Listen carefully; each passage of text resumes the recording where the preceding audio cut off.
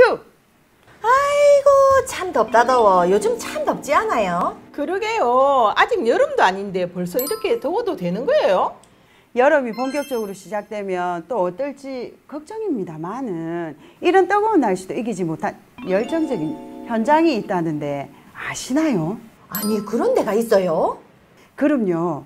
지금부터 그 화재의 현장을 가보실까요? 아이 카트 카트 카트. 아이 그렇게 해가지고 그 기운 빠지겠고 청취자들이 어떻게 그 같이 하시겠어요? 아니 조금 더 박력 있게 열정적인 현장. 이거 안 되나? 아, 그건 너무 박력 있는 것 같은데 어떻게 생각해요? 저는 사실 그것보다 궁금한 게 있는데요. 네, 편안하게 말씀하세요. 아까부터 보고 계시는 저분은 누구시죠? 네, 안녕하십니까. 저는 지나가는 사람인데 조명은이라고 합니다. 아, 예 안녕하세요. 저희는 마을 라디오 팀인데요. 아니 근데 여기는 앉아도 어- 되겠습니까? 예, 예, 예. 여기는 어떻게 오신 건지. 여기는 아. 어떻게 오셨어요? 아, 제가 직구하러 반여동에 왔다가 아, 뭐 녹음을 하시더라고요. 뭔가 싶어갖고 왔습니다. 방해가 됐다면 죄송합니다. 아니요, 아니요, 아니요. 뭐 방해가 되고 이런 건 아니고 저희가 이제 막 시작하는 중이라 가지고 뭐 괜찮습니다. 여기 앉아서 보셔도 됩니다. 아, 예, 예. 어, 자, 그럼 우리 한번 시작해 볼까요? 근데요, 여기 뭐 녹음하는 거예요? 아니, 우리가 좀 갈 길이 바빠서 잠깐 계세요. 잠시 쉬었다가 가시죠. 아, 그래요. 혹시 미래에 우리 회원님 되실지도 모르잖아요. 아, 그러네요. 그럼 우리 잠깐 이야기를 좀 나눠볼까요? 아, 예. 그럼 그럴까요? 너무 고맙습니다. 자, 그러면 지금부터 시작하도록 하겠습니다. 그럽시다, 그럽시다. 제가 좀 적어도 되겠죠? 그럼요, 그럼요, 그럼요. 네. 그럼 기왕 이렇게 된 거 본격적으로 몇 가지 질문 좀 하겠습니다. 아이고, 갑자기 분위기가 인터뷰 같고 참 좋습니다. 그래, 뭐든 물어보세요. 네. 그러면 여기 본인들 소개랑 그 다음에 여기서 무슨 일 하시는지 좀 부탁드리겠습니다. 아, 네. 저희는 반여동 지역에서 활동하고 있는 마을 라디오 장산 FM 엔돌핀 신쿵요정 마그동입니다. 반갑습니다. 아, 마을 라디오? 어, 애기가 온다.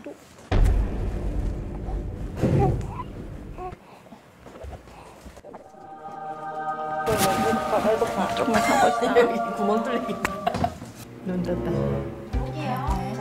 애가 갑자기 없어요. 아, 마을 라디오. 그럼 여기가 라디오 방송국인 건가요? 아직 정식적으로 개국한 건 아니에요. 지금은 팟캐스트에 장산 FM 이름으로 올리고 있는 중이거든요. 저희들이 라디오 교육 받으신 분들을 중심으로 해서 지역 이야기를 소소하게 담고 있어요.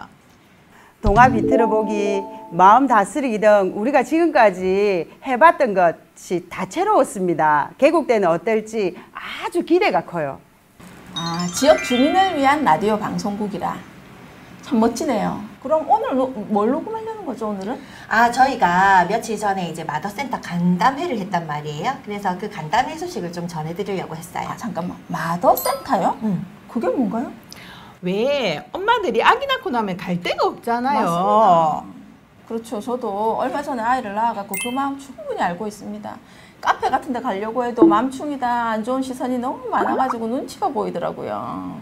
사회가 아이 키우는 사람들을 배려하는 게 좀 없죠? 네, 맞습니다. 엄마 아빠가 아이를 키우는 거는 맞지만 사실은 아이 한 명 키우는데 마을 전체가 필요하다고 하잖아요.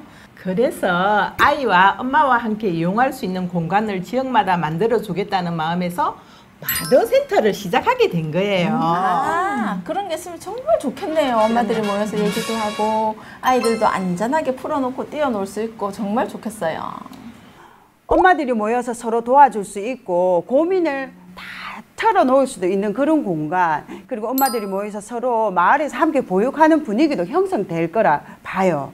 아니, 어떤 사람들은 퀴즈 카페를 가면 되지 않느냐, 이렇게 하는데, 어, 사실 딱 깨놓고 퀴즈 카페는 돈이 들지요. 네. 그리고 그, 왜 강좌 같은 거 있어가지고 한번 들으려 해도 내가 원하는 강좌가 없는 날이 너무 많고, 그러다 보니까 그냥 엄마들끼리 모여서 계속 수다만 떠는 거예요. 그렇다고 도서관을 가자고 하니까 영유아 애들 데리고 갔는데 아무 소리도 안 내고 딱 앉아서 책만 읽어라 이것도 사실 불가능한 일이거든요. 그러다 보니까 교육과 같은 중요한 책임을 국가가 아닌 개인의 힘으로 해결해 나가야 되는 것이 맞냐는 이야기가 나오는 거예요. 그래서 국가적 차원에서 복지가 필요하다는 것이 바로 마더센터의 개념입니다. 아, 마더센터. 그럼 여기가 전국 최초로 마더센터가 생기는 건가요? 전국 최초는 아니고요. 부산은 아직도 한 곳도 생긴 곳이 없으니 음 부산 최초는 맞겠죠.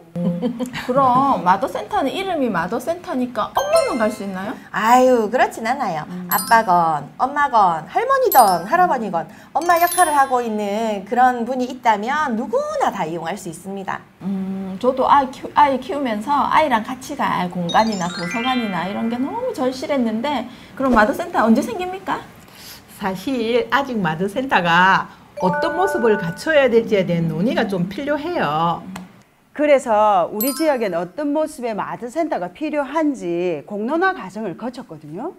지난 31일에 열린 간담회 영상이 있는데 한번 보시겠어요? 아, 좋습니다. 네. 함께 보시죠. 전 개가 있다라고 얘기되어지고 있는 이 마을센터가 한국에도 한 10여 곳에 운영되고 있는데 부산에는 하나도 없습니다. 그림책은 6월만 본다고 하는데 6월만 볼 일이 아니고요. 0세에서 100세까지예요. 퀴즈방 그런데 아까 말씀하셨듯이 12,000원, 15,000원 다 사먹으면 또 방도 따로 빌려야 되고 네. 그러면 기본적으로 책 안돼도 2만 원은 있어야 돼요. 문화를 받아 센터로 좀 만들었으면 좋겠다는 생각이 좀 들더라고요.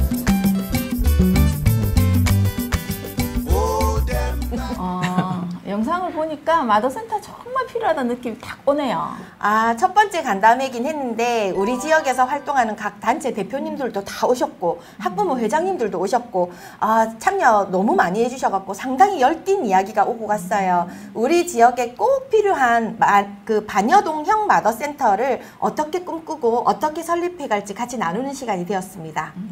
꼭 엄마가 아니더라도 가족 누구나가 편안히 드나들 수 있고 쉴 수 있는 열린 공간이었으면 좋다는 의견도 있었고요.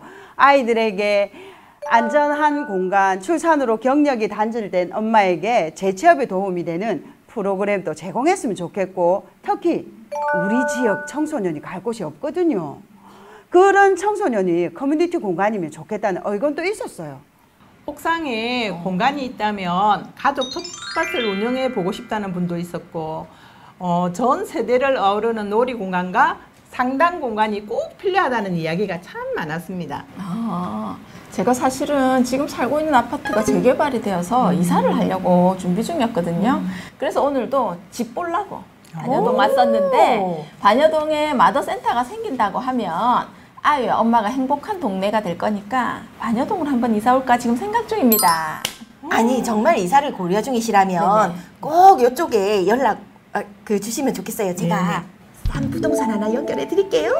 예, 알겠습니다. 그럼 얼른 가족들하고 얘기 좀 해보도록 하겠습니다. 네. 예, 그러면 녹음 잘해주시고 저는 빨리 집으로 가보도록 하겠습니다. 그래요, 그래요. 또 뵙겠습니다. 예, 또 감사합니다. 안녕히 계세요. 예. 아, 이거 책을 놔야지. 좋다 좋다. 근데 저분이 우리 연락 잘 하나? 네, 수고하셨습니다. 수고하셨습니다. 자, 그럼 먼저 오늘 소감 어땠는지 간단하게 한 말씀 부탁드릴게요. 아니 연기를 간만에 해보니까 완전 부끄러워가지고 사지가 오그라들었거든요. 하지만 우리 지역을 알리는 좋은 기회다 싶어서 진짜 열심히 했습니다.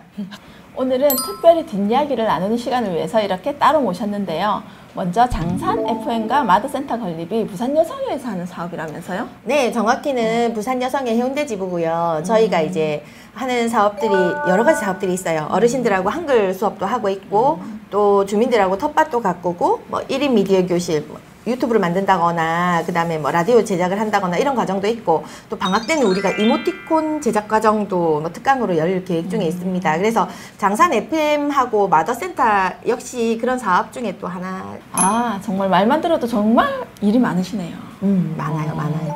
어떻게 이런 일을 계획하게 되셨죠? 사실 반영동이라는 곳이 다른 동네에 비해 고립이 되어 있습니다.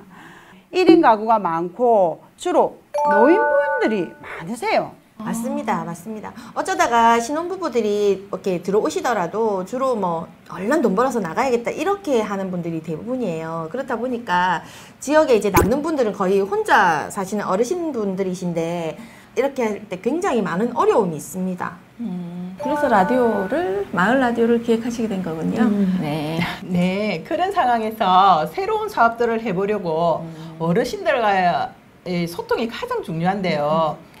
라디오를 만들면서 마을의 중요한 소식들도 전하고 하다 보니 기존 어르신들과 새로 유입된 젊은 사람들 간의 이거 벽차가 서서히 무너지더라고요. 그치, 그치. 그 중에서도 라디오를 선택한 건 저희가 연극, 인형극, 마당극, 뮤지컬까지 고려고려 해봤는데요. 아무래도 다른 것들에 비해 라디오 만들기는 사람들이 부담 없이 쉽게 도전하시는 것 같더라고요. 그럼 이- 그 라디오 교육을 수료하신 분들이 지금 이 방송국 운영하시는 건가요? 건가요? 어, 그렇죠, 그렇죠. 마더센터도 그 젊은 엄마들이 모일 수 있는 공간을 저희가 계속 고민을 했었는데, 아, 동에다가 한번 의논을 해봐야겠다. 이렇게 해가지고 이제 의견을 제시를 하러 갔어요. 그런데 동에서도 필요성을 같이 또 이렇게 인식을 공감을 하시게 돼가지고 같이 추진을 하게 된 거죠. 그래서 지금 동에서 되게 많이 도움을 주고 계시고, 앞으로도 많은 도움을 주시기로 했습니다. 오, 다행입니다. 우리 마을이 좀 작아도 좋은 사람들이 정말 많거든요. 그렇죠. 우리 지역에 좋은 분들도 서로 알아가는 취지로 정말 열심히 하고 있습니다. 음, 그렇군요. 그러면 앞으로의 계획에 대해서 간략하게 좀 말씀해 주시겠어요? 어, 우선 올해 안에 그 지역 주민들의 특히나 주부들 이야기를 듣는 그런 간담회를 2회 이상 더 준비 중이고요.